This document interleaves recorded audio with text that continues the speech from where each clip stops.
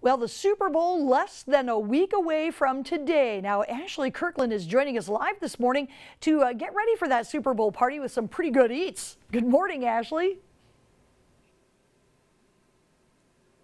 Good morning, Vicki. We made our way down to the landmark in Marquette, and you're right, the Super Bowl is less than a week away, and that's kind of become a big holiday here in America. And I know lots of folks are going to have parties and invite people over to their homes, or you may be carrying a dish to someone's home for Super Bowl. So we're going to be here at the landmark a couple a, a little bit later with one of the chefs. He's going to talk to us about making some delicious dishes like you see in front of me now. These are supposed to be really easy and simple to make. Yeah, you can see they look very elegant and nice, and they also look kind of healthy. So if you want to get away from the traditional chips and dips and maybe sandwiches and kind of fancy up your Super Bowl party, you want to stay tuned. Make sure to stay tuned and look back to see what we have to cook here for the, for you in the kitchen at the Landmark. Uh, my favorite team is not in the Super Bowl, Vicki, but I'm still going to enjoy the game. How about Welcome you? Welcome back. So it's 12 after the hour. You're thinking Super Bowl Sunday, just days away. You've been hearing about the Velveeta shortage today. What to do? Well, I'll tell you what. Ashley Kirkland joins us this morning at the Landmark to give us some ideas on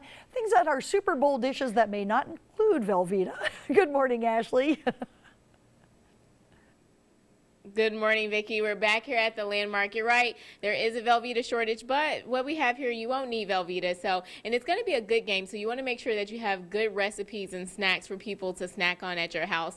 Right now, I'm joined with Charlie, one of the chefs at the Landmark. He's going to talk to us a little bit more about what he has and how you can make it at home. Charlie, what's something that you have for us to make for viewers to make at home for their party? Well, I'm going to take you guys on a rundown through. Uh, this is a Reuben dip. This is a new popular item that we got going on here. Um, very, very simple. Um, got right here in the pan, we've got a little bit of cream cheese, um, some Thousand Island dressing, and some heavy cream. If you want to go ahead and give that a stir for me. Okay, I'll stir that. All of these ingredients are not anything unusual at all. They're all very easy to get at the grocery store. Right here, I've got a little bit of corned beef. Uh, we're just going to give it a little bit of a chop. Now, this is everything that's in a Reuben sandwich and a dip. Everything in a Reuben sandwich and a dip, and it's served with uh, some rye toast points, so it's all the whole package all in right in one. So, Okay. Um, once you What's get the next step? all of this, once it gets down and melted in, we're gonna go ahead and add a little bit of our corned beef here. Just put it right on in. Um, to that, we're gonna put a little bit of sauerkraut right into the middle here. And once uh, we get that up to a boil, um, get a little bit of a bubble on it, uh, we're just gonna go ahead and add a little bit of Swiss cheese. Are there any measuring points, or you just put in how much you want of each thing? Um, I, for me, I, it, a lot of things, uh, there's not really any real recipe. It's really how, how you like it and how, how you want to, how you want it to taste and how you think everyone else will like it. So it's, there's no real recipe. Um, And this is going to be the actual ending point, what our Reuben dip will look like. Now, for Super Bowl parties, you have children, adults, and, and men. Is this something that's going to appease all appetites? I would say so, yeah. It's, um, like I tell everyone else, that a lot of people ask me that same question, you know, I would just say, you know, introduce your kids to the things that they would find unusual, you know, at an early age and, you know, they'll go ahead and like it, you know, Okay. in the end, so. And I see that speaking of kids and unusual dishes, we have vegetables here. Tell us about what did you do to these vegetables? These were uh, just lightly tossed in a little bit of olive oil, um, taking a little bit of a lighter approach to cooking. Um, not everything needs bacon and butter, but it's great stuff. But um, instead of just a traditional raw veggie dip, um, things like that, we've just tossed it up in a little bit of olive oil, salt and pepper, um, 350 degree oven, just a few minutes, and it'll get a nice dark color on the outside. Yeah. Um, put that with a little bit of pesto sauce and dip it right in and enjoy it. So. And it kind of has has a grilled look to it. Kind of reminds you of being outdoors tailgating, even though it's pretty cold outside. You can kind of get a little bit of that at your Super Bowl party. Um, and is there anything else that you can kind of mix in that's kid friendly for the kids to enjoy and eat?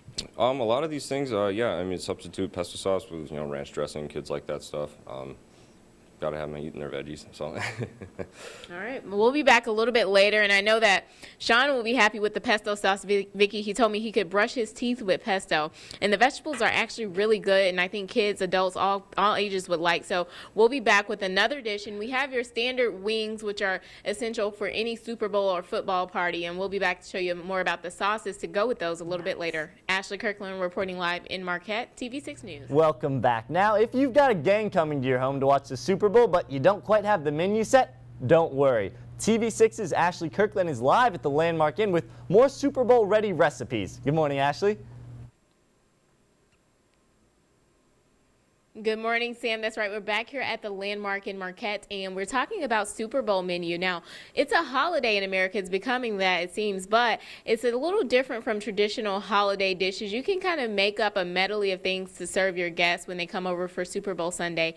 And right now, I'm joined once again with one of the chefs here at the Landmark, Charlie, and he's been teaching us some recipes, simple recipes that you can do to serve to guests uh, at your Super Bowl party, and he's back with more. Charlie, now, in the last segment, we talked about this Reuben dip here, and you kind of told us how to make it, but this is not just you can make this kind of like with any of your favorite sandwiches. Yeah, it's really it's just a take on whatever you really. There's no real recipe. Um, another one that we do here um, that's pretty popular is a Philly dip. Um, it's a take on a Philly cheesesteak sandwich. Um, the mag- it's peppers, onions, and beef, you know, all together. The magic ingredient behind any of those dips, though, is definitely cream cheese. You know, it's one of those simple things anybody can get. It. It's cheap. It's good. Um, another one was jalapeno popper dip. Same thing. It's all just easy. So it's kind of like an inside-out sandwich. As you can see, I've already took it, taken a lot of uh, bites out of that dip because it was really good. So what's the next thing that you have to teach us? Uh, right next, uh, we're going to do these uh, little salami cornets. They're uh, very easy, very simple. Um, they're light. Um, it's filled with an herb cream cheese. Um, a lot of Italian herbs in here. Um, we're just going to take toothpick. Anybody's got these laying around. Um, salami, just have go on down to uh, your local uh, grocery store and have them get some of these, and you take them and uh, just kind of roll it around your finger like that. Take a toothpick, right on through the other side. And uh, right here, I've got a piping bag. You can, again, you can make these at home. Just take a Ziploc bag, um, cut the snip the end off, and just pipe it right in there, and just give that little wow factor to your Super Bowl friends and have them enjoy it. It's good stuff. So. And what's the ingredients in the filling that you have there? Um, it's a little bit of basil, some oregano, um, parsley, and some granulated garlic, some salt and pepper. Just whip it up in your uh, your mixer, um, and just put them into your bag and pipe them right in. And of course, everyone's going to have wings at their Super Bowl party. Talk to us about how people can kind of mix and make up their own sauces. Uh, sauces, right here, we've got a Chipotle barbecue. Um, that's uh, one that we do serve here at the restaurant. The other one is uh, a mild sauce. Um, take your favorite hot sauce, um, put it on the stove with uh, a, about a stick of butter um, and ketchup, actually. It cuts it out and smooths it out um, so you don't get the real too much punch. Well, thank you so much, Charlie. Everything here has been really tasty. Even the vegetables, they're really flavored, flavorful, and they're seasoned well. So if you want to uh, kind of kick up your spruce up your holiday Super Bowl party and make sure that your guests have a good time, definitely pay attention to some of the recipes here. I'll take it back to you, Sam. And are you gonna have what are you gonna have at your Super Bowl party? well, I'd, I'd, like to have him over to maybe make some of that food for us. And if you happen to bring some back, uh, I know newsroom who wouldn't complain.